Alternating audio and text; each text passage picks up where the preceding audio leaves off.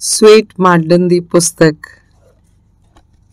ਆਤਮ ਵਿਸ਼ਵਾਸ ਦਾ ਚਮਤਕਾਰ ਦਾ ਲੇਖ ਹੈ, ਵਿਚਾਰਾਂ ਦਾ ਅਸਰ। ਦੁਨੀਆ ਵਿੱਚ ਅਪਰਾਧ ਇੰਜ ਹੀ ਨਹੀਂ ਹੋ ਜਾਂਦੇ। ਅਪਰਾਧੀ ਵਿਅਕਤੀ ਪਹਿਲੇ ਆਪਣੇ ਮਨ 'ਚ ਅਪਰਾਧ ਕਰਦਾ ਹੈ। ਅਪਰਾਧੀ ਵਿਅਕਤੀ ਨੇ ਆਪਣੇ ਸਰੀਰ ਨਾਲ ਜਿਹੜਾ ਅਪਰਾਧ ਕੀਤਾ ਹੈ, ਉਹਦੇ ਮਨ ਦੇ ਵਿਚਾਰਾਂ ਦਾ ਯਤਨ ਸਿਰਫ ਹੈ। ਉਹ ਪਹਿਲਾਂ ਆਪਣੇ ਮਨ ਰਾਹੀਂ ਉਸ ਅਪਰਾਧ ਦੇ ਸੰਬੰਧ ਵਿੱਚ ਵਿਚਾਰ ਕਰਦਾ ਹੈ। ਇੱਕ ਵਿਅਕਤੀ ਕਈ ਅਪਰਾਧਾਂ ਦੇ ਕਾਰਨ ਜੇਲ੍ਹਾਂ 'ਚ ਰਿਹਾ। ਉਸ ਤੋਂ ਜਦੋਂ ਪੁੱਛਿਆ ਗਿਆ ਕਿ ਤੂੰ ਇਹ ਅਪਰਾਧ ਕਿਉਂ ਕਰਦਾ ਹੈ, ਤਾਂ ਉਹਨੇ ਦੱਸਿਆ ਕਿ ਮੈਂ ਕੋਈ ਵੀ ਅਪਰਾਧ ਜਾਣਬੁੱਝ ਕੇ ਨਹੀਂ ਕੀਤਾ। ਮੇਰੇ ਵਿੱਚ ਬਚਪਨ ਤੋਂ ਹੀ ਅਜਿਹੇ ਵਿਚਾਰਾਂ ਦਾ ਵਿਕਾਸ ਹੁੰਦਾ ਰਿਹਾ ਕਿ ਮੈਂ ਅਜਿਹੇ ਅਜਬ ਢੰਗ ਨਾਲ ਕੰਮ ਕਰਾਂ ਕਿ ਹੋਰ ਲੋਕ ਨਾ ਕਰ ਸਕਣ। ਮਨ ਵਿੱਚ ਪੈਦਾ ਹੋਈ ਇਸੇ ਤਰ੍ਹਾਂ ਦੇ ਵਿਚਾਰਾਂ ਤੇ ਜਦ ਸਰੀਰਕ ਰੂਪ ਵਿੱਚ ਅਮਲ ਕੀਤਾ ਗਿਆ ਤੇ ਉਹ ਅਪਰਾਧ ਬਣ ਗਿਆ। ਉਹਨੇ ਦੱਸਿਆ ਕਿ ਮੈਂ ਸੋਚਿਆ ਕਰਦਾ ਸੀ ਕਿ ਰਾਤ ਵੇਲੇ ਤਰ੍ਹਾਂ-ਤਰ੍ਹਾਂ ਦੇ ਮਕਾਨਾਂ 'ਚ ਕਿਸ ਤਰ੍ਹਾਂ ਜਾਇਆ ਜਾ ਸਕਦਾ ਹੈ। ਘਰਾਂ 'ਚ ਸੁੱਤੇ ਹੋਏ ਲੋਕ ਜਾਗ ਨਾ ਜਾਣ ਤੇ ਸਾਰਾ ਮਾਲ ਮੱਤਾ ਵੀ ਸਾਫ਼ ਹੋ ਜਾਏ। ਸਾਲਾਂ ਤੱਕ ਮੈਂ ਇਹਨਾਂ ਕੰਮਾਂ ਦੀ ਕਲਪਨਾ ਕਰਦਾ ਰਿਹਾ ਤੇ ਵੱਡਾ ਹੋਣ ਤੇ ਜਦ ਮੈਂ ਆਪਣੀ ਕਲਪਨਾ ਨੂੰ ਕਾਰਜ ਰੂਪ ਦਿੱਤਾ ਤੇ ਉਸ ਵਿੱਚ ਸਫਲ ਵੀ ਹੁੰਦਾ ਰਿਹਾ ਤਾਂ ਮੈਨੂੰ ਬੜੀ ਖੁਸ਼ੀ ਹੋਈ। ਖੁਸ਼ ਹੋਣ ਦਾ ਅਸਲ ਕਾਰਨ ਇਹ ਸੀ ਕਿ ਮੇਰੀਆਂ ਵਿਉਂਤਾਂ ਜਾਂ ਕਲਪਨਾਵਾਂ ਸਹੀ ਹੋਈਆਂ। ਅੱਗੇ ਉਸ ਵਿਅਕਤੀ ਨੇ ਦੱਸਿਆ ਕਿ ਮੈਂ ਇਹ ਚੋਰੀਆਂ ਇਸ ਲਈ ਨਹੀਂ ਕਰਦਾ ਕਿ ਮੈਨੂੰ ਪੈਸੇ ਨਾਲ ਬੜਾ ਪਿਆਰ ਸੀ। ਸਗੋਂ ਇਸ ਲਈ ਕਰਦਾ ਸੀ ਕਿ ਮੈਂ ਇਸ ਤਰ੍ਹਾਂ ਦੇ ਕੰਮਾਂ ਨੂੰ ਜੋਖਮ ਦਾ ਕੰਮ ਸਮਝਦਾ ਸੀ ਤੇ ਉਸ ਵਿੱਚ ਮੇਰੀਆਂ ਭਾਵਨਾਵਾਂ ਨੂੰ ਤਸੱਲੀ ਤੇ ਖੁਸ਼ੀ ਮਿਲਦੀ ਸੀ। ਕਿਉਂਕਿ ਇਹ ਭਾਵਨਾਵਾਂ ਮੈਂ ਕਈ ਸਾਲਾਂ ਤੋਂ ਆਪਣੇ ਮਨ ਵਿੱਚ ਦੱਬੀਆਂ ਹੋਈਆਂ ਸੀ। ਪਹਿਲੀ ਵਾਰ ਪਕੜੇ ਜਾਣ ਤੇ ਉਹਨੂੰ ਇਹ ਅਹਿਸਾਸ ਹੀ ਨਹੀਂ ਸੀ ਕਿ ਉਹਨੇ ਕੋਈ ਅਪਰਾਧ ਕੀਤਾ ਹੈ ਤੇ ਅਪਰਾਧੀ ਮੰਨਿਆ ਜਾਏਗਾ। ਇਸ ਨਾਲ ਸਿੱਧ ਹੁੰਦਾ ਹੈ ਕਿ ਮਨ ਵਿੱਚ ਕਿਸੇ ਤਰ੍ਹਾਂ ਦੇ ਅਪਰਾਧਪੂਰਨ ਵਿਚਾਰਾਂ ਨੂੰ ਜਗ੍ਹਾ ਦੇਣੀ ਕਿੰਨੀ ਘਾਤਕ ਹੁੰਦੀ ਹੈ। ਇਸ ਤਰ੍ਹਾਂ ਦੇ ਵਿਚਾਰ ਜਾਂ ਸੁਝਾਅ ਸਾਡੇ ਮਨ ਦੇ ਅੰਗ ਬਣ ਜਾਂਦੇ ਹਨ। ਉਹ ਸਾਡੇ ਅਜਿਹੇ ਹਿੱਸੇ ਬਣ ਜਾਂਦੇ ਹਨ ਜਿਨ੍ਹਾਂ ਨੂੰ ਬਾਅਦ ਵਿੱਚ ਵੱਖ ਕਰਨਾ ਬੜਾ ਔਖਾ ਹੋ ਜਾਂਦਾ ਹੈ। ਅਸੀਂ ਉਸੇ ਤਰ੍ਹਾਂ ਦੇ ਬਣਦੇ ਹਾਂ ਜਿਸ ਤਰ੍ਹਾਂ ਸਾਡੇ ਵਿਚਾਰ ਹੁੰਦੇ ਹਨ। ਕੁਝ ਨਾਮੀ ਚੋਰਾਂ ਨੇ ਦੱਸਿਆ ਕਿ ਅਸਲੀ ਚੋਰੀਆਂ ਕਰਨ ਤੋਂ ਪਹਿਲਾਂ ਉਹ ਕਲਪਨਾ ਨਾਲ ਚੋਰੀ ਕਰਦੇ ਰਹੇ। ਅਜਿਹੇ ਲੋਕ ਤਾਂ ਇਹ ਸੋਚਦੇ ਹਨ ਕਿ ਕਿਹੜੇ-ਕਿਹੜੇ ਤਰੀਕਿਆਂ ਨਾਲ ਚੋਰੀ ਕਰਕੇ ਮਾਲ ਲਿਆ ਜਾ ਸਕਦਾ ਹੈ ਤੇ ਪੁਲਿਸ ਕੋਲੋਂ ਵੀ ਬਚਿਆ ਜਾ ਸਕਦਾ ਹੈ। ਅਜਿਹੇ ਵਿਅਕਤੀ ਸਾਲਾਂ ਤੱਕ ਇਹਨਾਂ ਅਪਰਾਧ ਭਾਵਨਾਵਾਂ ਦੇ ਸ਼ਿਕਾਰ ਰਹੇ ਪਰ ਉਹਨਾਂ ਨੂੰ ਇਸ ਗੱਲ ਦਾ ਰੱਤਾ ਵੀ ਅਹਿਸਾਸ ਨਹੀਂ ਸੀ ਕਿ ਅਪਰਾਧ ਪੂਰਨ ਵਿਚਾਰਾਂ ਨੂੰ ਆਪਣੇ ਮਨ 'ਚ ਬਿਠਾ ਕੇ ਕਦੇ ਸੱਚਮੁੱਚ ਦੇ ਅਪਰਾਧੀ ਬਣ ਜਾਣਗੇ। ਜਦੋਂ ਉਹਨਾਂ ਇਹ ਮੰਨਿਆ ਕਿ ਹੁਣ ਉਹ ਕੰਮ ਹੋ ਸਕਦਾ ਹੈ, ਤਾਂ ਉਹ ਅਪਰਾਧ ਪੂਰਨ ਕੰਮ ਕਰ ਦਿੱਤਾ। ਉਹਨਾਂ ਦਾ ਇਹ ਯਤਨ ਬੇਸ਼ੱਕ ਕਾਰਜ ਰੂਪ 'ਚ ਬੜੀ ਦੇਰ ਨਾਲ ਪ੍ਰਗਟ ਹੋਇਆ, ਪਰ ਮਾਨਸਿਕ ਰੂਪ ਨਾਲ ਬਹੁਤ ਪਹਿਲਾਂ ਹੋ ਚੁੱਕਿਆ ਸੀ। ਉਹਨਾਂ ਨੇ ਅਪਰਾਧ ਦੀ ਜਿਹੜੀ ਭਾਵਨਾ ਮਨ 'ਚ ਧਾਰਨ ਕਰ ਲਈ ਸੀ ਉਹ ਹੌਲੀ-ਹੌਲੀ ਉਹਨਾਂ ਦੇ ਰੋਮ-ਰੋਮ 'ਚ ਫੈਲਦੀ ਚਲੀ ਗਈ ਤੇ ਜਦ ਪੁਲਿਸ ਨੇ ਉਹਨਾਂ ਨੂੰ ਪਕੜ ਲਿਆ, ਸਿਰਫ ਤਾਂ ਹੀ ਉਹਨਾਂ ਨੂੰ ਪਤਾ ਲੱਗਾ ਕਿ ਉਹ ਅਪਰਾਧੀ ਹਨ।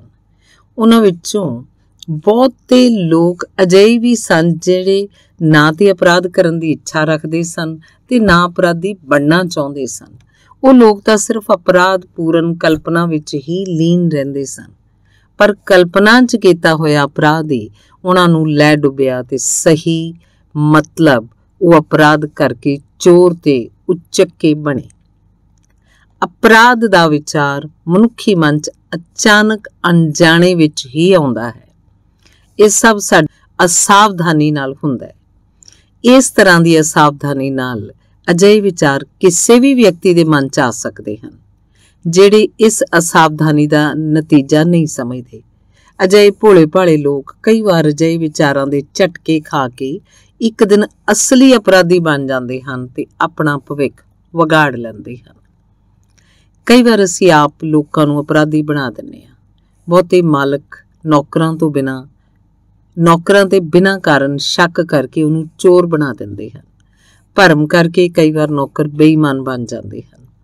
ਅਜਿਹਾ ਇਸ ਤਰ੍ਹਾਂ ਹੁੰਦਾ ਹੈ ਕਿ ਜਦੋਂ ਤੁਸੀਂ ਕਿਸੇ ਨੂੰ ਬਾਰ-ਬਾਰ ਦੋਸ਼ੀ ਸਮਝ ਕੇ ਅਕਾਰਨ ਹੀ ਉਹਨੂੰ ਦੰਡ ਦਿੰਦੇ ਹੋ ਤਾਂ ਇਹ ਵਿਚਾਰ ਹੌਲੀ-ਹੌਲੀ ਉਹਦੇ ਮਨ 'ਚ ਬਹਿ ਜਾਂਦਾ ਹੈ। ਫਿਰ ਉਹ ਸਮਾਂ ਆਉਂਦਾ ਹੈ, ਜਦ ਉਹ ਸੱਚਮੁੱਚ ਹੀ ਅਪਰਾਧੀ ਬਣ ਜਾਂਦਾ ਹੈ। ਕਿਸੇ ਦੂਜੇ ਵਿਅਕਤੀ ਤੇ ਬਿਨਾਂ ਸਬੂਤ ਦੇ ਸ਼ੱਕ ਕਰਨਾ ਇੱਕ ਤਰ੍ਹਾਂ ਨਾਲ ਉਸ ਪ੍ਰਤੀ ਜ਼ੁਲਮ ਹੈ। ਕਈ ਵਾਰ ਸਾਡਾ ਸ਼ੱਕ ਉਹਨੂੰ ਦੋਸ਼ਪੂਰਨ ਵਿਹਾਰ ਕਰਨ ਦੀ ਪ੍ਰੇਰਣਾ ਦਿੰਦਾ ਹੈ। ਅਪਰਾਧ ਭਾਵਨਾ ਦੇ ਵਿਚਾਰਾਂ ਤੋਂ ਬਿਨਾਂ ਕੁਝ ਵਿਅਕਤੀ ਡਰ ਦੇ ਵਿਚਾਰ ਫੈਲਾਉਂਦੇ ਹਨ।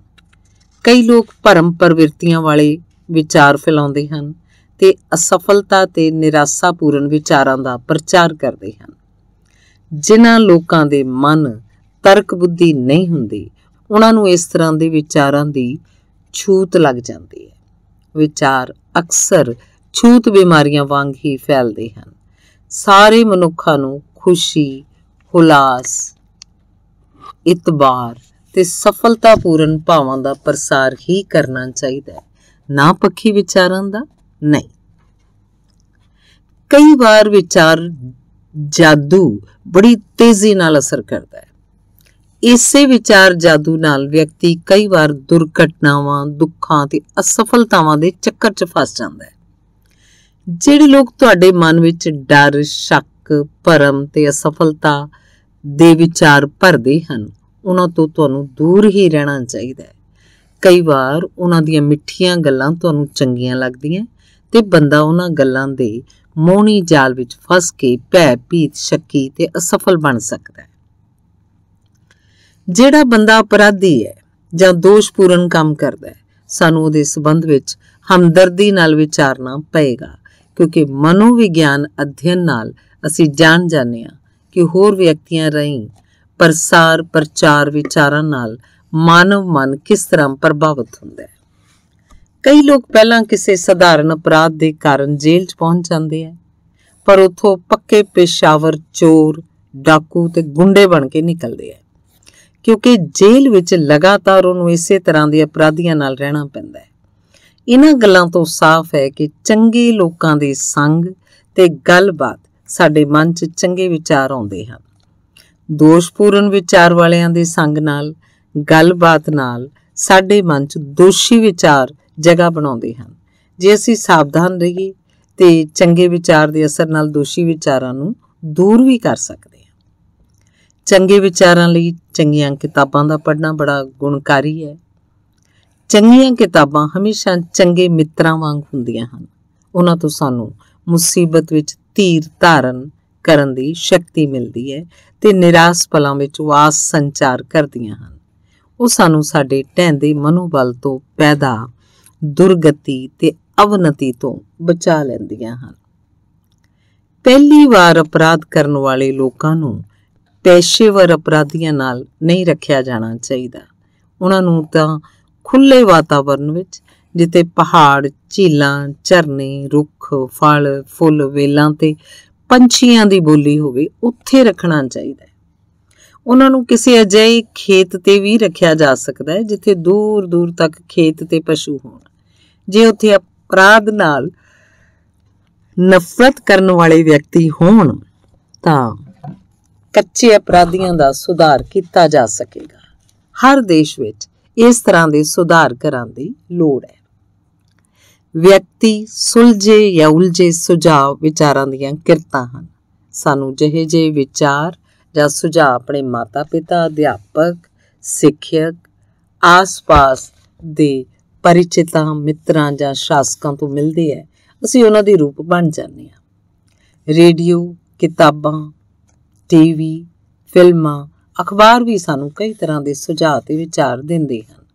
ਸਾਡੇ ਆਲੇ ਦੁਆਲੇ ਦਾ ਵਾਤਾਵਰਨ ਹਮੇਸ਼ਾ ਕਈ ਤਰ੍ਹਾਂ ਦੇ ਵਿਚਾਰਾਂ ਸੁਝਾਅ ਨਾਲ ਭਰਿਆ ਰਹਿੰਦਾ ਹੈ। ਅਸੀਂ ਉਹਨਾਂ ਵਿਚਾਰਾਂ ਤੋਂ ਅਸਰ ਲੈਂਦੇ ਰਹਿੰਦੇ ਹਾਂ। ਸਾਡੇ ਚਰਿੱਤਰ ਦਾ ਬਹੁਤ ਹਿੱਸਾ ਇਹਨਾਂ ਤੋਂ ਹੀ ਵੱਧਦਾ ਵਧਾਉਂਦਾ ਹੈ। ਅਸੀਂ ਸਾਰੇ ਜਾਣਦੇ ਹਾਂ ਕਿ ਤੇ ਮਹਿਸੂਸ ਕਰਦੇ ਹਾਂ ਕਿ ਕਿਸੇ ਸ਼ਕਤੀਸ਼ਾਲੀ ਨਾਟਕ ਜਾਂ ਨਾਵਲ ਕਹਾਣੀ ਦਾ ਸਾਡੇ ਤੇ ਕਿੰਨਾ ਡੂੰਘਾ ਅਸਰ ਪੈਂਦਾ ਹੈ। ਅਸ਼ਲੀਲ ਸਾਹਿਤ ਤੇ ਜਾਸੂਸੀ ਨਾਵਲ ਜਾਂ ਨਾਟਕ ਜ਼ਿਆਦਾ ਮਾਤਰਾ 'ਚ ਪੜਨ ਵਾਲੇ ਪੜਨ ਨਾਲ ਸਾਡੇ ਮਨ 'ਚ ਅਪਰਾਧ ਪ੍ਰਵਿਰਤੀਆਂ ਜਾਗਦੀਆਂ ਜੇ ਕਿਸੇ ਦਾ ਇਸ ਤਰ੍ਹਾਂ ਦੀਆਂ ਕਿਤਾਬਾਂ ਪੜਨ ਦਾ ਸੁਭਾਅ ਹੀ ਬਣ ਜਾਏ, ਤਾਂ ਉਹਨਾਂ ਮਰਦਾਂ ਔਰਤਾਂ ਦਾ ਪਤਨ ਹੁੰਦੇ ਦੇਰ ਨਹੀਂ ਲੱਗਦਾ। ਮੁੰਡੇ ਕੁੜੀਆਂ ਦੇ ਕੋਮਲ ਮਨ ਤੇ ਵੀ ਇਹਨਾਂ ਚੀਜ਼ਾਂ ਦਾ ਕਿੰਨਾ ਹਾਨੀ ਜਾਂ ਮਾੜਾ ਅਸਰ ਹੋਏਗਾ, ਇਹਦੀ ਤਾਂ ਅਸੀਂ ਸਿਰਫ ਕਲਪਨਾ ਹੀ ਕਰ ਸਕਦੇ ਹਾਂ। ਧੰਨਵਾਦ।